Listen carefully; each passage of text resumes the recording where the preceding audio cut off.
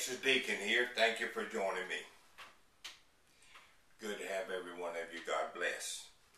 You're probably watching me on the Lone Star 1776 Rudy channel. Thank, I thank Rudy every day for carrying me on his channel. That's where I get most of my viewers. Be advised, I also have my own channel, the Texas Deacon, of course.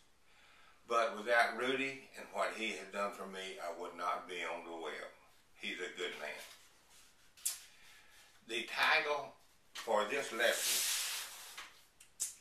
is The Christian Survivalist, Part 3, Repackaging Commercial Foods, as you can see right here. I have a, a scripture for you to read. I want you to read 2 Kings chapter 6, verses 26 through 30. Also, go online and learn about the 1972 crash of a commercial airliner in the Andes Mountains in South America. Both of those will be very eye-opening if you haven't already done it, although I have mentioned them in my other lessons. In my lessons, uh,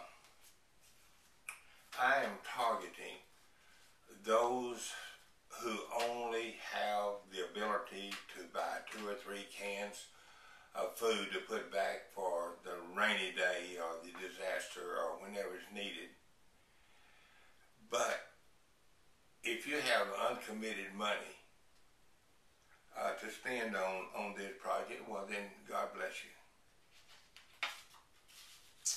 Scripture, got to read a couple of scriptures. I've read these before. We're going to read them again in case you haven't um, seen any of my programs. The first one is 1 Timothy chapter 5, verse 8. But if anyone does not provide for his own, and especially his own household, and, and and his own household will always include his father and his mother. He has denied the faith and is worse than an unbeliever. Uh, I was going to double check it. I think the King James Version, this is New King James, it says infidel there, worse than infidel.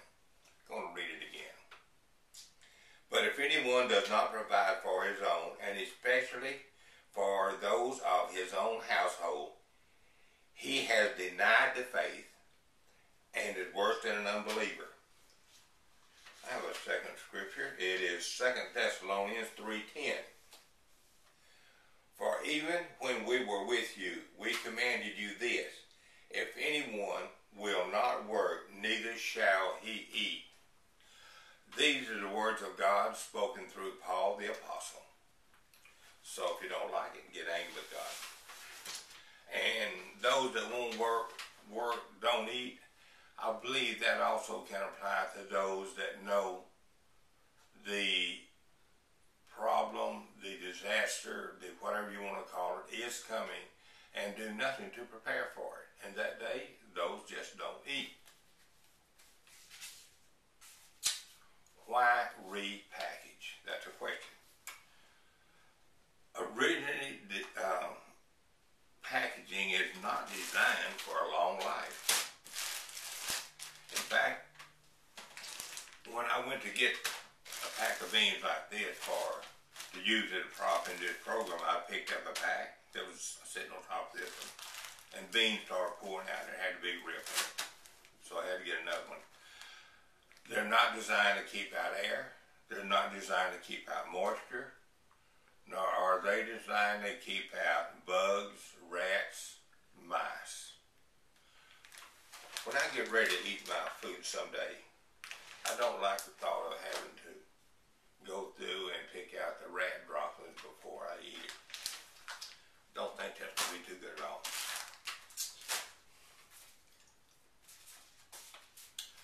Here are the containers that I'm presenting today. They're just ordinary glass canning jars that I purchased for this program, although I have plenty of other jars. I chose to get six that match. Any glass container with a metal lid will work. Now, ammo containers. And I just happen to have one right here. These are very good containers for storing things because they they have a perfect seal and buy what you want to, drop it in.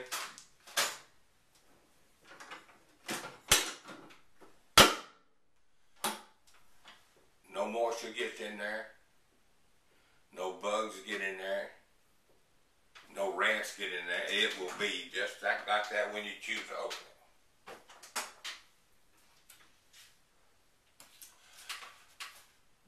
Barrels are another type of container that is very good. Some barrels, the kind that have a removable lid and a ring that holds it in place, are also airtight because food is shipped in these barrels and if you get those food shipping barrels then you can put anything in them that you want to. I'd recommend a good place to store your dog food. And I used to advise people that when you see disaster coming, go get 10 bags of dog food. Now, if anyone's there said, well, I don't have a dog, I would say, I know that. If you had a dog, I'd recommend get 20 bags. After you read what I told, suggested that you read, you'll see that you would eat dog food because you're no different than those people you're going to read about. Another good container that I don't have right now and I'll get when, when I can is gallon wine jugs. They're glass. They have a small uh, metal cap on top. And also, too, get the box that holds the four gallons if you can, and you can get them usually out behind any, any liquor store. And any of these products here will go in there, and then you have a box to keep them. Because they are glass and they will break if you bang them together. This happens to be pasta right here. A friend of mine who's been very reliable in the past said that what I've done to this pasta right here, just put it in this jar and sealed it. It's good for 25 years. And of course, popcorn. There won't be any chips and dips around. We're going to need some kind of snack food, so I suggest stock up on popcorn. Good old rice. This is Hominy grits. Never knew no Texas boy that wouldn't wrap his lips around a bowl full of grits. Salt, and of course pinto beans. And again, the container is unimportant. Used to hold pickles, sliced pickles. Glass and metal is good. This also used to hold pickles, complete big pickles. Now, I put this together four, five, six years ago. Mm, I lose track of time. And I buried it back in the back of a pantry. And I took it out just for this demonstration. I haven't opened it, no need to now. It looks just like it did today. I put it in there. And again, glass with a metal lid. How about one serving? Hey,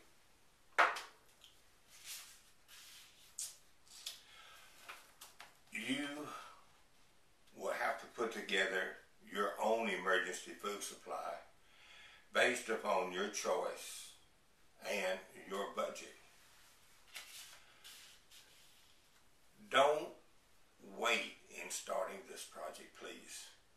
You just may wait too long.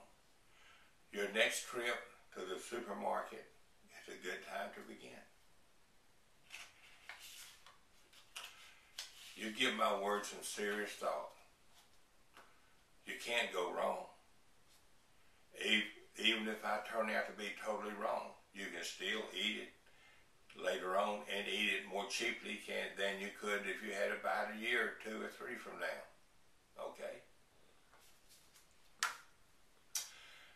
May God bless America. May God bless the Republic of Texas. And may God bless you and yours.